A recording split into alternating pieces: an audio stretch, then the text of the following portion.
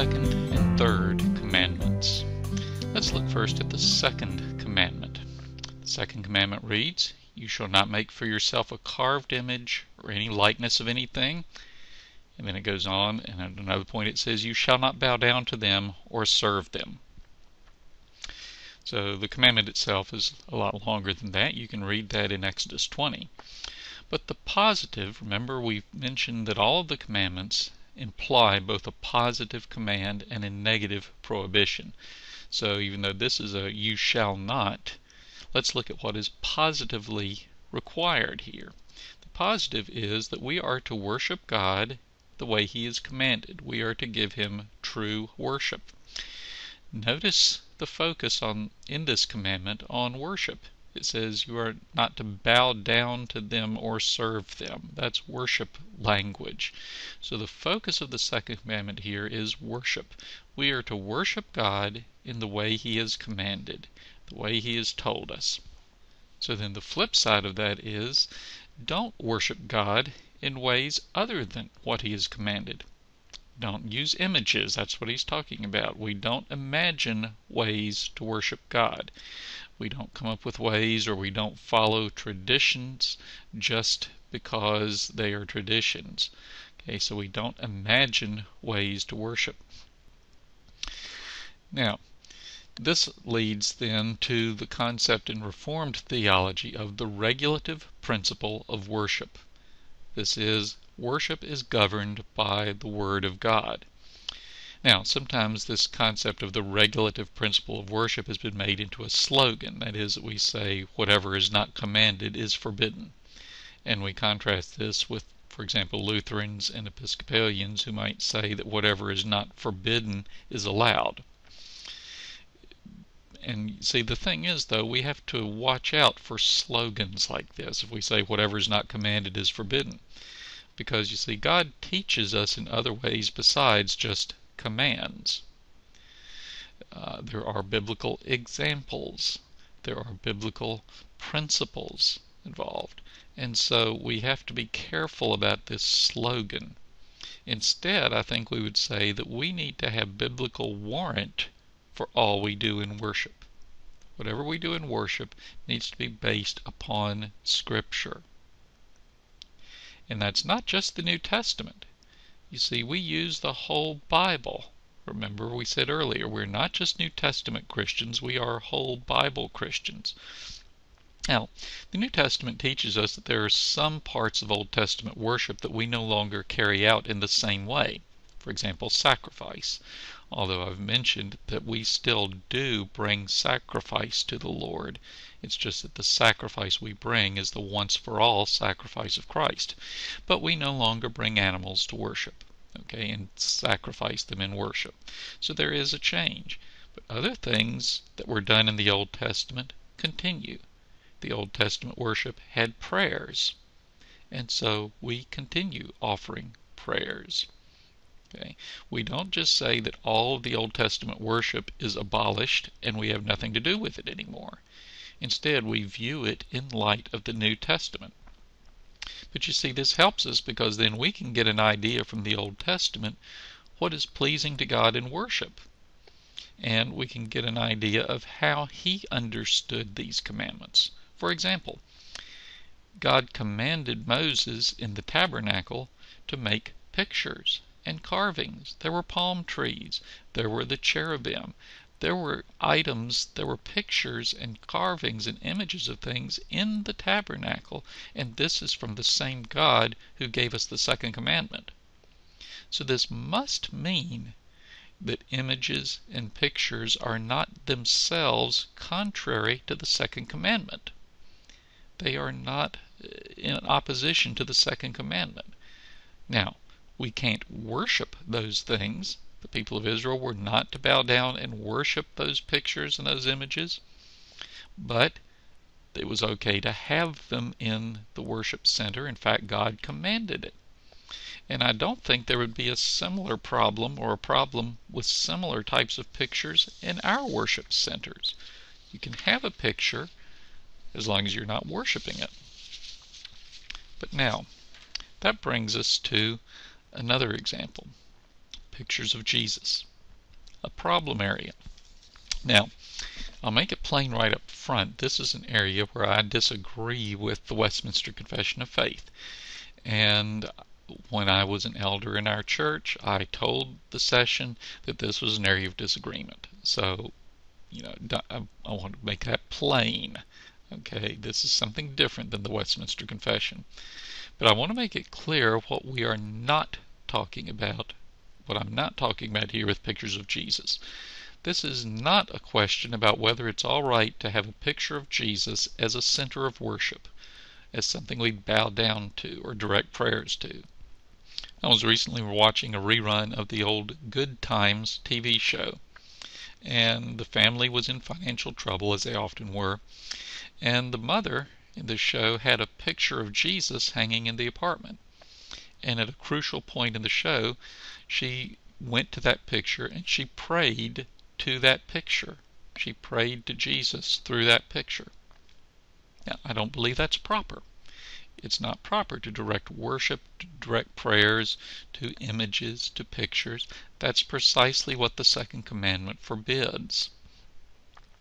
So that is not what I'm talking about here, though, when I say is it appropriate to have pictures of Jesus. The question here I'm looking at is, especially for us in education, may we use pictures of Jesus for educational purposes? For example, my wife taught kindergarten for many years, and she used flannel graph pictures to teach Bible stories. Was it acceptable for her to use a flannel graph picture of Jesus? to tell stories in the Gospels. Or let's say one of the activities is to have a child drawing a picture of a Bible story. Is it all right for that child to draw a picture of Jesus raising Lazarus from the dead? Or should he be told to leave Jesus out of the picture? Or as one child I taught did, would just draw a glowing light in place of Jesus. Now, the Westminster Larger Catechism, when it deals with the second commandment, says this. It says that the second commandment forbids making any representation of any of the three persons, that is, the Father, Son, or Holy Spirit, any of the three persons, either inwardly in our mind or outwardly in any kind of image. So the Westminster Standards say we must not make any picture of Jesus or the Father or the Holy Spirit at all, not even in our mind. Now there's some problems with this approach. First, it's impossible to avoid mental images. When I tell you a story about anyone or anything, you tend to visualize it. I mean, that was one of the benefits of the old radio dramas. People used their imagination to picture Superman or Dick Tracy or whatever. When we hear stories, we get a mental picture of what's going on. So, the preacher tells the story of Jesus turning the water into wine. You probably imagine a wedding scene, people partying, there's jars of wine over here, here's the master of ceremonies, here's the bride and groom, here's Jesus' disciples and his mother. Now, do you just imagine a blank space or a bright light where Jesus would be? Probably not you get a mental scene of a man talking to the servants, telling them to fill the pots with water, that type of thing. Now, I would agree with the Westminster Confession as far as worship is concerned here. We must not, as part of worship, sit down and visualize Jesus as a distinct part of worship. You know, have somebody say, okay, now close your eyes and imagine Jesus reaching out his arms to you in love, Picture him there, those hands with the nail holes. Okay, I don't believe that's appropriate. But you see, the Westminster Confession would seem to prohibit even incidental images in our minds. But more importantly here is that the second commandment is focused on worship, as I already mentioned, not on pictures themselves. Notice that the commandment doesn't actually mention images of God. It prohibits images of anything in heaven, which could include God, but more likely refers to heavenly bodies, anything on earth or under the earth. Now, if you take that at face value, that would prohibit all pictures of anything at any time for any purpose. But you see, the commandment goes on to explain it's dealing with worship. You shall not bow down. So the prohibition isn't dealing with the picture or the image, it's dealing with worshiping God by means of a picture or image. Think about it logically. If the second commandment prohibits all pictures of Jesus, then it prohibits all pictures of anything. The language is all inclusive. I can't have a picture of a tree, of a cat, my wife, the moon, or anything else. But you might say, oh, well, that's not the problem. We're not to use these to worship God. Precisely.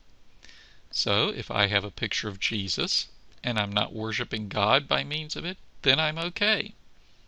But then people will say, no, the second commandment prohibits pictures of Jesus. See, I, I don't see that.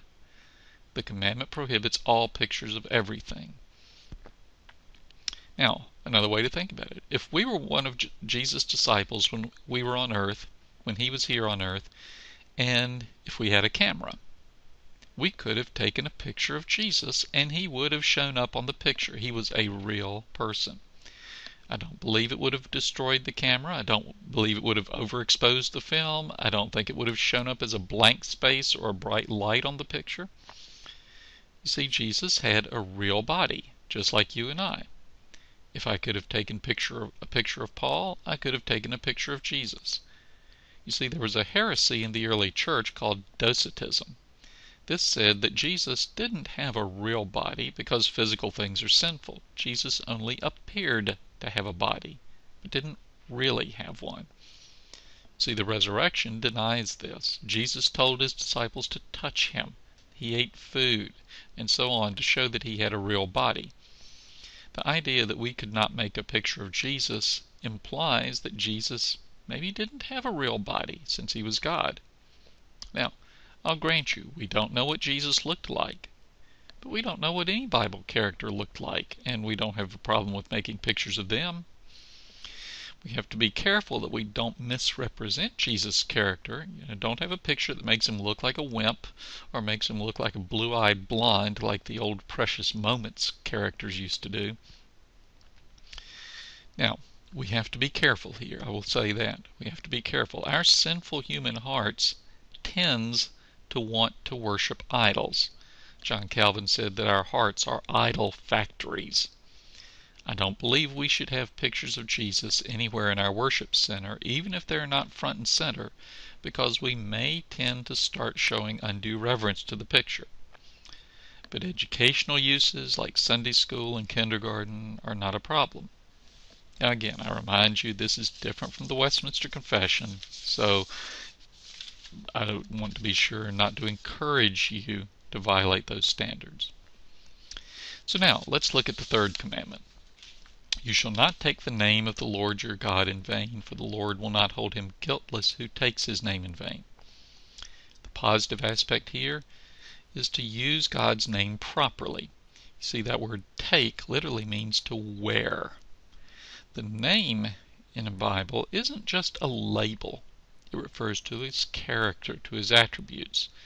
So we are to speak properly of God's character, of His attributes. We wear His name in the right way. We live in a way that properly reflects God's name on us. After all, we are called Christians, Christ followers. So this isn't just a matter of our speech. It includes our speech, but it also includes our whole lives. Our whole lives are to reflect the name, the character of God. In a negative sense, we don't trivialize God's name. We don't take it in vain. That's what it means. This would include things like minced oaths, where instead of saying God's name, instead of saying God, we say gosh, things like that, or trivial cursing. Uh, if you're going to pronounce a curse, you're going to say God damn you, that should mean something. It's not just a trivial thing. Now, question here. What about the use of foul language in literature and in drama? Or is it wrong to read books or watch movies that have profanities, obscenities, or blasphemies? If I'm an author or a screenwriter, is it wrong for me to write those in my books as something a character might say? Or if I'm an actor, is it all right for me to say those words in a play or a movie? Now, Think about the simple fact of honesty. If I'm reading a book about men in the trenches in war, I know they are not saying, Well, Shazam, I just got shot in the leg. That wouldn't be an accurate portrayal of war. Similarly for other portrayals of sin. And remember, good literature is based on some type of conflict which is going to involve sin in some way. Movies are the same way. This goes for whether I'm reading or writing it. Now, I do think a Christian author can use moderation and not have every other word a curse word. But it's simply not accurate to have all the characters avoiding profanity. And by the way, this also follows biblical example. I mean, Paul in Philippians 3 when he speaks about his former life as an unbeliever, he uses very strong language. When he looks back on his life, he calls it a pile of dung. And the word is actually much stronger. It's more akin to if he said it was a pile of SH. Okay. There's also the fact that Rabshakeh in 2 Kings 18, the pagan commander, uttered blasphemy against the Lord. That blasphemy is recorded in the Bible. He blasphemously said that the Lord is no better than the gods of the land who had already been destroyed. Or even Paul. In 1 Corinthians 12:3, Paul writes, Jesus is cursed. Now, in the context, he was saying, if you're governed by the Holy Spirit, you cannot say that. But the mere act of writing those words or saying them is not in itself wrong, because the Bible does so. Again, we see the context in each case. I mean, Rabshakeh is a wicked man. Paul is saying that those who blaspheme Jesus are not led by the Spirit. But we still have to say it cannot be wrong to write or to utter those words at all, since the Bible does so. Here's where it's helpful to remember our discussion about the situation in ethics. One person says Jesus is cursed and is guilty of blasphemy. Another person says Jesus is cursed and is guiltless because of the situation he says it in or the purpose, a goal he has. When we talk about foul language in books and movies, we need to think about the situation, for example, the maturity of the reader or hearer. A young teenage boy reading profanities can't handle it without deciding he wants to imitate it, while an adult can read it and know he shouldn't imitate it. And the Bible teaches this idea of maturity. It says strong meat is for the mature, milk is for the immature. Now, here's how I view this. We always use a passage, Philippians 4:8, whatever is true, whatever is pure, and so on, think on these things. We use that passage a lot in this context. And people will say, well, that shows this book or this movie has some profanities in it, and we shouldn't watch it because we're only to put what's good and true in our minds. But notice what Paul says. He doesn't say, don't let these things enter your minds. He says, don't meditate on them. That is, don't let them roll around in your mind. Don't let them take over your mind. Don't let them fill your mind. Don't focus on them. If you watch a movie that has some profanity in it, and you find that all you think about is that profanity and you're tempted to use it yourself, then don't watch the movie. If you watch it and your focus is on the overall story, then it's not a problem. There's another verse that I think applies here, Matthew 15, 17 to 20, where Jesus said that it was not what goes into a man that defiles him, but what comes out from the heart. Now, Jesus was talking about ceremonial washings, but his, he was saying that those things going into us don't make us defiled or unclean. It's those things that come out of our heart. Our sinful heart is what twists things and makes them sinful and defiles us. In the context we're talking about, I would say that the words going into our minds are not sinful. What's sinful is if we meditate on them and then express ourselves sinfully. Let me give you a mundane example the three boys that I've raised. When our boys were growing up, we had a Three Stooges video.